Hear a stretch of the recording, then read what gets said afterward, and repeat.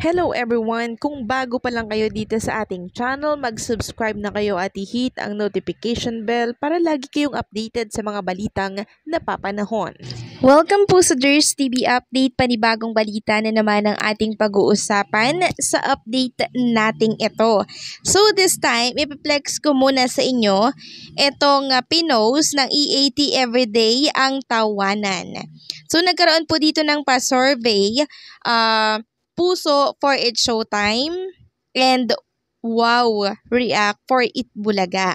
So, tinitingnan natin dito kung sino yung mas angat at uh, mas marami po ang sumusuporta no, sa programa po na noon time show nila. So, chinek ko po yung mga nag-react. Ang nakuha po ng Itbulaga, TBJ ay 1.6K.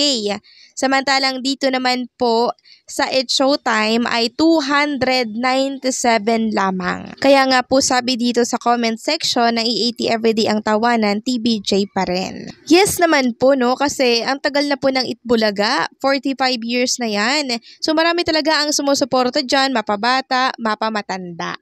Samantalang meron tayong ipiplex na picture tungkol po sa mga dabber cards natin na kung saan makikita natin dito si Tito Soto, si Jose Manalo, si Wally Viola, and itong si Shara Soto, si Atasha, and itong si uh, yung isang kapatid ni Atasha Mulak. Sino ba yan? Si Andres, no? Isa lang naman yung kapatid niyan.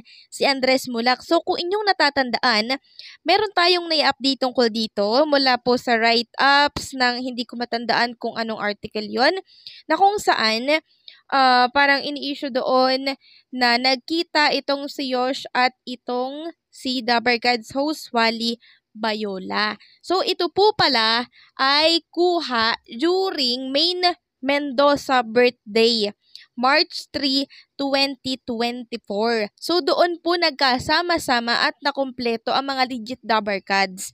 Kaya sa nag issue po dyan na nagkita itong si Wally Viola and yung controversial na nangyari sa kanya na girl ay hindi po yun meeting. Okay? Yun po ay birthday celebration ng isang main Mendoza ngayong 2024. Kaya wag na sanang i-issue ng iba dyan at gawan po ng write-ups. Samantalang ipiplex ko lang sa inyo itong 2 years anniversary ng kapatid nitong si Min Mendoza na si Kulin. Siguro naman ay eh, kilala niyo po itong si Kulin, no? Kapatid po na ma, kapatid po ni Min Mendoza na kung saan ay ito yung close na close niya. Ito yung pinagsasabihan niya po ng mga secrets niya. Uh, sa lahat ng magkakapatid, ito po talaga yung close niya, si Kulin. Sabi nga po ni Kulin dito, habang piniplex ang uh, kanyang picture with husband niya, It's only been two years. Happy anniversary, my love. Truly grateful for the kind of husband and father that you are. We love you so, so much, Dad. Baby number two, Charot. So, nagpaplano na po sila ng ikalawang baby. Grabe nga yun, ano? And sana, si Min Mendoza rin, no, ay magkaroon na din po.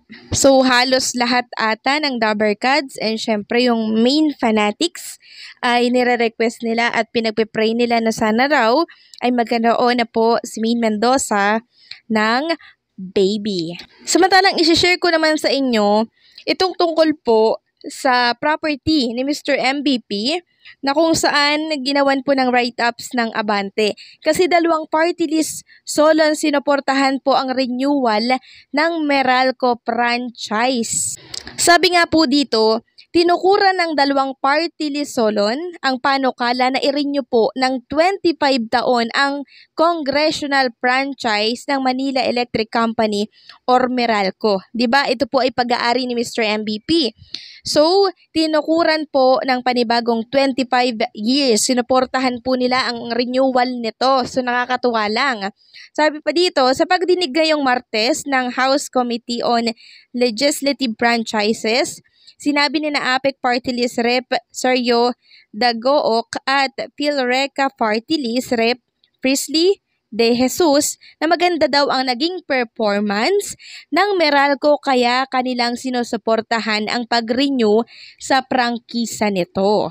Sinabi ni De Jesus na ang Meralco ay reliable and defendable at hindi maitatanggi na nagbenepisyo ang mga customer nito sa kanilang ibinigay na serbisyo.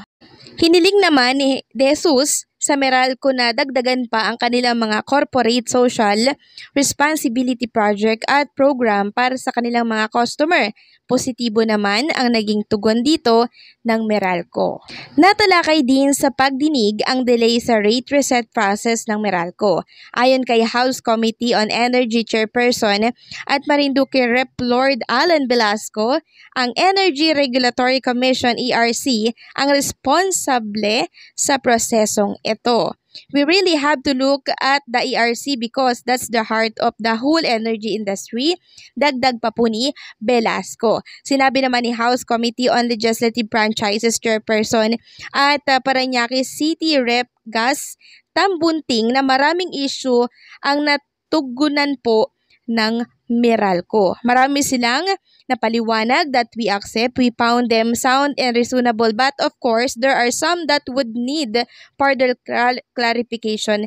Sabi po ito ni Tambunting. Pero maaari umanong muling magpatawag ng pagdinig ang committee kahit na walang sesyon ang Kongreso upang matugunan ang iba pang hinaing kaugnay ng panukala.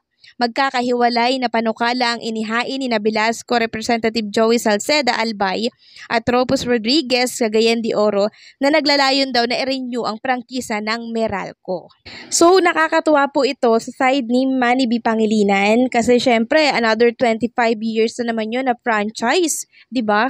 Syempre, asahan na po natin na tuloy-tuloy at walang patid ang kita ng isang Mr. MVP. At nakakatuwa lang ha, dahil sinusuportahan po sila ng dalawang party list dahil maganda raw ang performance ng Meralco. Samantalang ipiplex ko naman sa inyo itong binahagi po ng TV5 sa kanilang page. Sabi dito, palaging all outs performances ang ating Itbulaga TV5 darling of the dance floor na si Atasha Mulak. Ano pa kaya mga kabang-abang na dance trend ang gagawin niya? I-comment na kung ano pa ang mga bet nyong gawin ang ating dance cutie. And meron po ditong shinare ang TV5 na tatlong picture ni Atasha Mulak. Anong dance trend ang gusto mong gawin? uh, Dance Cutie Atasha. So, i-comment nyo lang daw sa nato ng comment section post ng TV5.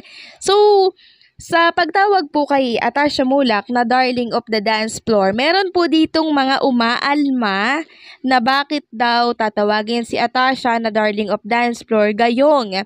Hindi naman daw ito mahusay sumayaw. Yan po ang mga linyahan ng mga bashers. Sabi nila, mas mahusay pa daw si Maha Salvador, no? So, kinumpara na naman si Atasha Mula kay Maha Salvador. So, alam nyo, isipin nyo, si Atasha nagsisimula pa lang po yan. Kaya wag nyo sanang i-down, bagkos itaas pa po natin. So, wag sanang crab mentality, ba diba? Parang mga hindi Pilipino eh, no? So, para kay Atasha Mulak, mahusay ka, ipagpatuloy mo lang yan, wag mong pansinin ang mga bashers sa paligid mo kasi kasama yan. So, hanggang dito na lamang po ang update natin at maraming salamat sa pagsuporta at pagsubaybay.